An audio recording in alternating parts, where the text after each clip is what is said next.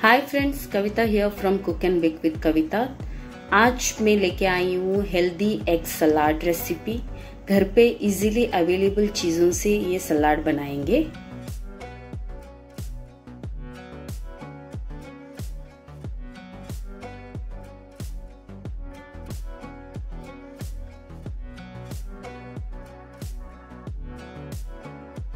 तो चलते हैं रेसिपी शुरू कर देते हैं। यहाँ हेल्दी एग सलाद बनाने के लिए मैंने यहाँ चार उबाले हुए अंडे लिए हैं। एक प्याज, शिमला मिर्च, गाजर कुकुम्बर टोमेटो और एक आधा कप बीटरूट और स्पाइस बढ़ाने के लिए काली मिर्च पाउडर चाट मसाला ओरेगानो और चिली फ्लेक्स और साथ में नींबू रस एंड स्वाद अनुसार नमक लिया है। यहाँ मैंने अंडे का छिलका निकाल दिया है और अंडे को दो टुकड़े कर लेंगे।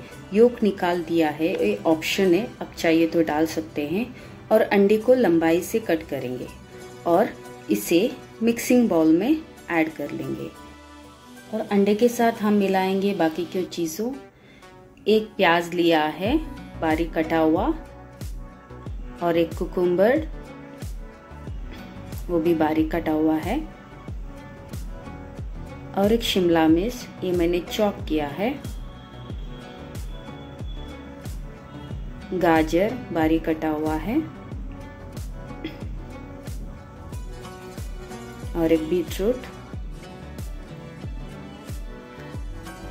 और टमाटो, एक ही टोमेटो लिया है, बारीक कटा हुआ है। इसके साथ डालेंगे मसाला, आधा टीस्पून काली मिर्च पाउडर।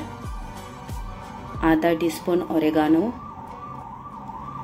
और स्वाद अनुसार नमक, चाट मसाला आधा टीस्पून, चिली फ्लेक्स लिया है और लास्ट में हम डालेंगे नींबू का रस। अब हम इसे मिला देंगे।